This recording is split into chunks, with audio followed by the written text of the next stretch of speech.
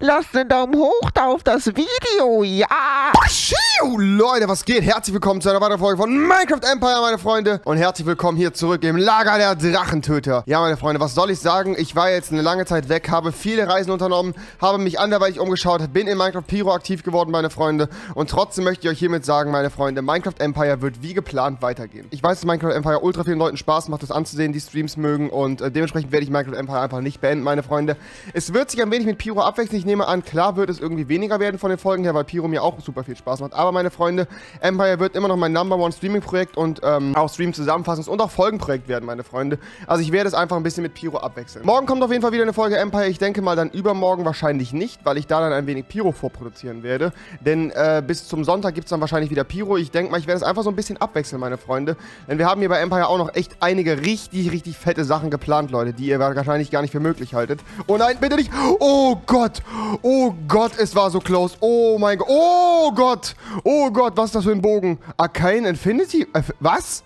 Lol. Leute, okay. Meine Rüstung ist im Down, aber wir haben... Wir müssen, ich muss auf jeden Fall die Rüstung wieder reparieren, ganz klar. Aber ich muss auf jeden Fall den Bogen jetzt zusammen craften. Wie nice ist es bitte? Was haben wir da vorne? Ein Manticore auf einem Skelett. Äh, ein Skelett auf einem Manticore. Ah, alles klar. Okay, meine Freunde.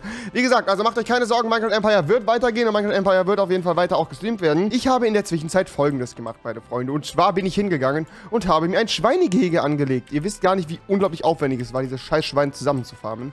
Gott, da oben ist schon wieder ein scheiß Creeper, der verrecken in der Hölle am Nakoi. Geht drauf, Brudi. So, Jetzt müssen wir vorne einmal gucken, was wir hier haben. Was ist das hier?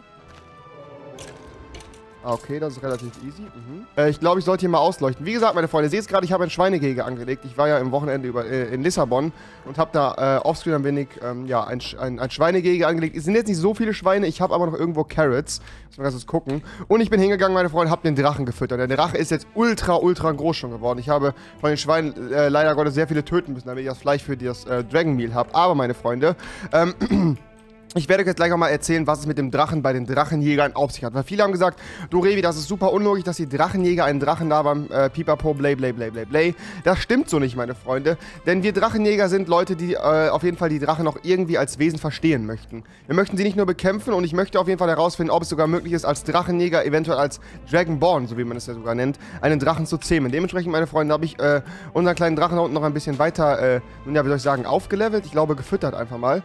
Und ich könnte euch den mal ganz kurz anschauen. Schaut ihn euch mal an, meine Freunde. Er ist auf jeden Fall ordentlichst gewachsen. Ihr seht das hier.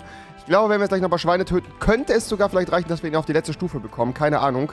Ähm, und dann können wir eventuell schon anfangen, die Drachen zu reiten und eventuell dann damit losgehen und, ähm, ja, Dinge erledigen, die noch erledigt werden müssen. Ne? Ich meine, es gibt ja noch äh, diese ganzen Städtegeschichten hier. Es gibt ja angeblich noch diese riesige Stadt, um die wir uns kümmern müssen. Es gibt ja noch so viele Sachen, die irgendwie noch geklärt werden müssen. Ähm, und ich denke mal, allein deshalb, meine Freunde, werde ich und kann ich Empire nicht beenden, weil es noch so viel hier zu tun gibt für uns, dass wir das Projekt jetzt nicht einfach einstellen dürfen. Die anderen haben auf jeden Fall auch noch Bock. Es gab gestern eine große Besprechung zum Roleplay und so weiter und so fort.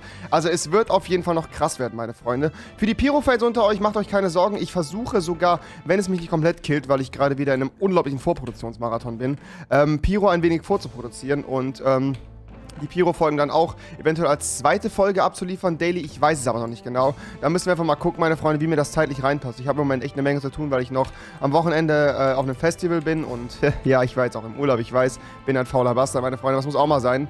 Und es gibt noch sehr viele andere Termine, die im Moment noch zu kommenden Projekten anstehen. Dazu möchte ich und kann ich aber noch nicht mehr sagen. Aber ich habe im Moment sehr viel Zeit in ein ähm, ganz anderes Projekt gesteckt, was wahrscheinlich niemand erwartet, außer den Leuten, denen ich schon gezeigt habe und die es alle sehr cool finden. Tidal hat sogar auch gesagt, dass es ihm gefällt. Aber was das alles ist, meine Freunde, das erzähle ich euch irgendwann anders. Ähm, ich würde sagen, wir kümmern uns jetzt hier erstmal um das, was hier passiert ist und äh, bauen ein wenig an unserer Basis rum. Wir könnten auch theoretisch eigentlich mal hingehen und versuchen, wisst ihr was, ich versuche jetzt mal ganz kurz einen Sattel zu craften, wie man denn so einen Drachen dann eventuell reiten kann, weil es muss ja irgendwie die Möglichkeit geben, so, ein, so eine Drachenrüstung zu erstellen. Warte mal. Blood Alchemy, Dragon Axe, Fire Dragon, Ice Eggs. Nee, das brauchen wir nicht. Das brauchen wir auch nicht. Ähm, wo haben wir das denn? Fire Dragon Eggs, was haben wir gerade herausgefunden? Ice Dragon Eggs, die müssen in Wasser liegen. Genau, dann haben wir hier das hier. Das sind die ganzen Materialien. Die Villager haben wir immer noch nicht gefunden. Keine Ahnung. Fire Dragon. Da muss doch irgendwo etwas stehen. Okay. Wie mache ich das? Armor for dragons can also be crafted. It's most commonly made of iron, gold and diamond. Dragon armor is made for the same shape of normal armor. Uh, except uh, it uses Äh, Blocks instead of Ingots. Ja, Heidewitzka, meine Freunde. Alles klar, okay, gut. Dann würde ich sagen, versuchen wir jetzt einfach mal eine äh, Drachenrüstung zu bekommen und versuchen den Drachen dann ähm, das Ding mal anzuziehen. Ich bin mal gespannt, ob das funktioniert und ob wir den Drachen da tatsächlich reiten können. Vor allem bin ich mal gespannt, ob wir überhaupt genügend Eisen haben. Äh, ich glaube fast nicht. Ich glaube, wir haben tatsächlich nur genügend Gold für eine Drachenrüstung. Dann machen wir einfach eine goldene Drachenrüstung. Wisst ihr was, meine Freunde? Man muss auch mal Jünne kennen. Man muss auch mal ein bisschen protzen und dann machen wir das einfach mal. So, ich bin mal gespannt, wie das Ding dann aussieht, ob das auch unserem Drachen tatsächlich passt. Ähm, müsst ihr dann so aussehen, oder? Wie eine normale Rüstung, hat er gesagt, aber dann doch nicht, oder wie? Except it uses blocks instead of ingots. In the same shape of normal armor. Dragon armor is made of gold iron.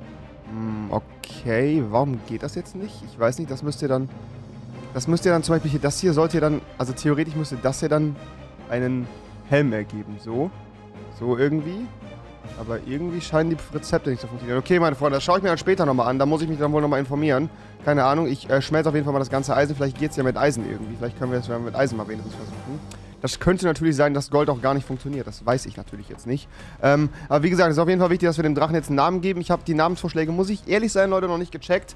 Ähm, aber wie gesagt, macht euch bitte keine Sorgen. Empire wird auf jeden Fall weitergehen. Für Leute, die jetzt fragen, hey wo hast denn die Karotten her? Die habe ich äh, dreisterweise bei jemandem aus der Hauptstadt geklaut, Leute. Ihr seht das hier, wir haben ja auch ein Karottenfeld, also alles tutti. So, ich würde sagen, wir gehen jetzt einfach mal runter und äh, füttern den Drachen ein bisschen. Ich kill da vorne jetzt im Leidwesen ähm, der Edgarianer noch ein paar Schweine und dann werden wir runtergehen und den Drachen füttern, damit er groß, stark und mächtig wird, meine Freunde. Pass mal auf, es tut mir wirklich leid, Leute, ich will das nicht, aber es müssen einfach einzelne Schweine hier sterben, Leute. Es müssen einfach einzelne Schweine wieder sterben. Es tut mir leid, ihr seid ja schon gewöhnt. Ich muss euch alle nacheinander hinrichten, meine Freunde, für den Drachen. Es ist wirklich wichtig, dass die Drachenjäger auf jeden Fall auch ihre Forschung hier weitertreiben. Ich bin echt mal gespannt, meine Freunde, ob wir in der Lage sind, diesen Drachen zu beherrschen bzw. zu fliegen. Das wäre natürlich ultra geil. Stell dich mal vor, wir fliegen einfach mit dem Drachen in die Schlacht gegen diese äh, seltsame NPC-Stadt oder was auch immer das da ist. Das wird auf jeden Fall alles echt noch relativ spannend hier werden, meine Freunde. Dementsprechend bleibt auf jeden Fall bei Empire geschmeidig am Start. Es geht echt noch brisant und geil weiter. So, ähm, pass mal auf, wenn ich jetzt noch ein Fleisch hätte, dann wäre ich sehr zufrieden. Sind noch zwei, das ist perfekt, dann habe ich nämlich hier genug. Mussten wieder eine Menge Schweine dran glauben. Es tut mir leid, meine Freunde, es tut mir leid. Aber es ist alles für den Drachen. Es ist sehr, sehr wichtig, dass unser Drache hier auf jeden Fall weiterhin wächst. Boah, ihr glaubt gar nicht, wie warm es hier gerade in meinem Zimmer ist, meine Freunde. Ich bin hier gerade wieder im UFO, ne, ihr seht das. Und es ist einfach 20 Milliarden, 1000 Grad warm. Du stirbst auch, du läufst draußen rum, kriegst auf Schnauze. Also die Schweine sind ja tatsächlich, wie ihr gerade gesehen habt, laufen hier relativ offen rum. Dementsprechend war das jetzt nicht so stressig für mich. Ähm, aber ja, jetzt geht es erstmal darum, den Drachen zu füttern. Ich bin gespannt, äh, bis zu welcher Stufe ich den überhaupt füttern kann, wie groß der überhaupt werden kann. Bis dato hat er mich tatsächlich noch nicht angegriffen. Ich war auch, seitdem ich ihn das letzte Mal gefüttert habe in äh, Lissabon in Portugal, nicht mehr unten und habe mich um ihn gekümmert. Ich bin jetzt mal gespannt, ob er mich jetzt in Ruhe lässt, beziehungsweise sogar vielleicht wiedererkennt und mich an ihn ranlässt oder eventuell mir sogar wehtut. Das weiß ich natürlich nicht. Falls ja, dann haben wir nämlich jetzt hier die kleine Arschkarte gezogen, weil ich möchte dieses Tier ungern töten müssen, meine Freunde. Wie gesagt, wir Drachenjäger ähm, versuchen da ein wenig unsere Philosophie zu ändern, versuchen da auf jeden Fall ein bisschen Verständnis für diese Geschöpfe zu erlangen und versuchen vor allen Dingen die Geschöpfe jetzt irgendwie, wenn möglich, ja, wenn möglich, für unseren Nutzen äh, irgendwie einzusetzen. Sprich, wir haben ja hier noch sehr, sehr viele Feinde, sehr, sehr viele Gefahren, die auf uns lauern und ich glaube, da ist es gar nicht verkehrt, einen Drachen zu haben. So, ich glaube, er schläft gerade. Jetzt die Frage, kann ich dich füttern, wenn du schläfst, Schätzelein? Komm mal her, lässt du mich in Ruhe? Schaut ihn euch an, meine Freunde. So eine majestätische Kreatur. Ja, er wächst. Und wie er wächst, meine Freunde. Schaut euch das an, wie groß er ist. Schaut euch an, wie groß er ist. Kann ich schon auf ihm sitzen? Ich möchte irgendwie... Kann man, kann man nicht irgendwie... Wie kann ich auf ihn Nein, als ob. Ich sitze auf dem Drachen, Leute. Ich sitze auf dem... Oh mein Gott, ich sitze auf dem Drachen. Schaut euch das an, meine Freunde. Der Drache hat mich akzeptiert. Der Drache hat mich... Aber er kann noch nicht fliegen. Er kann noch nicht fliegen, okay. Das heißt, wenn ich jetzt hoch... Ich, ich, er kann noch nicht fliegen. Aber ich kann... Alter Schwede. Leute, Leute, wir reiten gerade einen Drachen. Ist das, ist das wahr? Wie komme ich hier runter? Ich möchte hier runter. Hallo. Hallo, Drache. Ich will hier... Hallo? Ich würde hier gerne... Wie komme ich jetzt... Leute, ich komme nicht vom Drachen... Hallo? Ich komme nicht... Hallo? Hallo? Leute, ich komme nicht von dem Drachen runter. Ich komme nicht von dem Drachen runter. Kein Scheiß, ich kann nicht. Ähm... Äh... Kann ich denn irgendwie... Vielleicht muss ich ihn mit dem Horn einsaugen? Geht das irgendwie? Äh... Ähm... Ja, nice. Äh, Leute, ich glaube, da, da müssen wir uns ja nochmal drum kümmern. Keine Ahnung, lol, der hat hier oben alles kaputt gemacht direkt. Oh mein Gott. Wie das denn, Alter? Oh mein Gott. Okay, Leute, dieses Tier ist auf jeden Fall echt hart gefährlich. Ich glaube, der hat hier die Blöcke. Der macht sogar die Blöcke kaputt. Schaut euch das an, oder? Ich weiß es nicht. Auf jeden Fall ist hier gerade ein riesiges Loch. Keine Ahnung, wo das herkommt. Leute, äh, egal. Ich kümmere mich dann in der nächsten Folge drum. Das war's von dieser Folge Minecraft Empire. Lasst auf jeden Fall einen Daumen nach oben da, wenn es euch gefallen hat. Und bleibt auf jeden Fall am Start. Morgen um 19.30 Uhr gibt es wieder einen Stream. Und dann gibt es auch morgen nochmal eine wunderschöne Folge von Minecraft Empire, wo wir dann vielleicht den Drachen zur ersten Flugstunde begleiten. Macht's gut, haut rein, lasst einen Daumen nach oben da. Ciao, ciao!